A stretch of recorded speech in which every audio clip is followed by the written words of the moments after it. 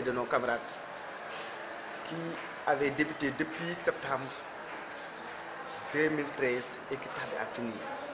On ne peut pas, et que la justice avait dit son, mot là-dessus, la dame a fait appel. Et depuis lors jusqu'à présent, chaque mois, on organise des appels. Nous, nous laissons nos malades, nous venons. Et aujourd'hui, nous n'avons rien contre la justice. Demande aux autorités, à toutes les bonnes volontés, de nous aider pour un règlement définitif de cette affaire. Il a trop duré. Nous laissons nos malades.